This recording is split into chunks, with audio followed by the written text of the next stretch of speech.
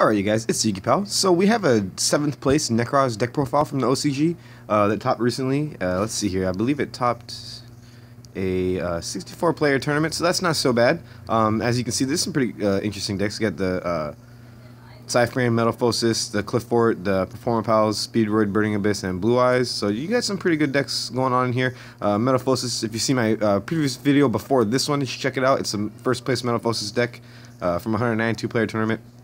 And then here we have the Nekroz, so uh, let's get straight into this. It's uh, 25 monsters, 3 Maxi, 2 Djinn, they still have Djinn, 1 Shurit, they have Shurit, so this is why this deck is still playable over there, uh, truthfully. And then uh, 3 uh, Senju, 2 Night Dracolich, uh, 3 Manju, 3 uh, Nekroz of Clausolas, 1 uh, Unicorn, 1 Brionac, uh, 2 Valk, 2 Trishula, 1 Decisive Armor, and 1 Archfiend Eccentric. And then for the spells, uh, they're playing one Foolish, one Preparation of Rites, one Reinforcement of the Army, one Harpy's Feather Duster, two Book of Eclipse, two Twin Twister, two Nekroz Mirror, one Sight Nekroz Cycle, and two Nekroz Kaleidoscope. Uh, they cut down on the uh, on the um, rituals. Uh, for me, if you guys see my uh, build, I think it's like a really old video I put up.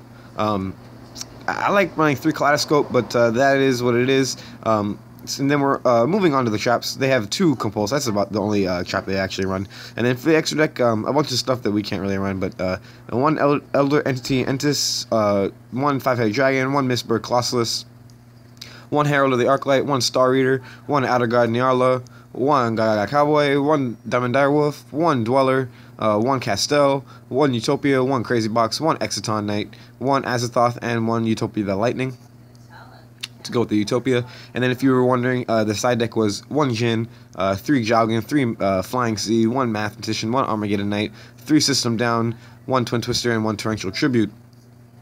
And that's basically the deck list. Uh, it's seven, uh, seventh place from a 64-man uh, tournament, so that's not so bad. Uh, Nekroz still showing that they can do stuff with uh, and Djinn. I mean, that's pretty big. So let me know what you guys think in the comment section below. Thank you guys very much for watching. Take care.